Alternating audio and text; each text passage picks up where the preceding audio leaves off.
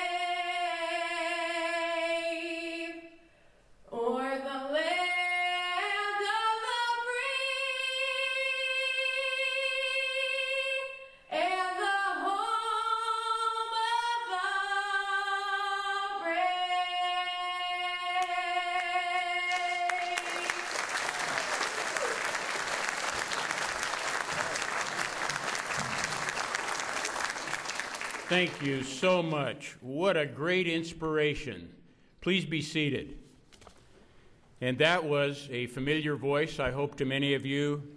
Madison Carney, who has sung with us before. She's an eighth grade student at Chaparral Middle School right here in Diamond Bar. She sings in many city and sporting events, including Angel Stadium recently.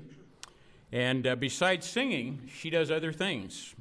She's a good student, I understand. And her hobbies are track and field, where she is undefeated in her 100 meter event. So thank you very much. What a great way to start our morning, Madison.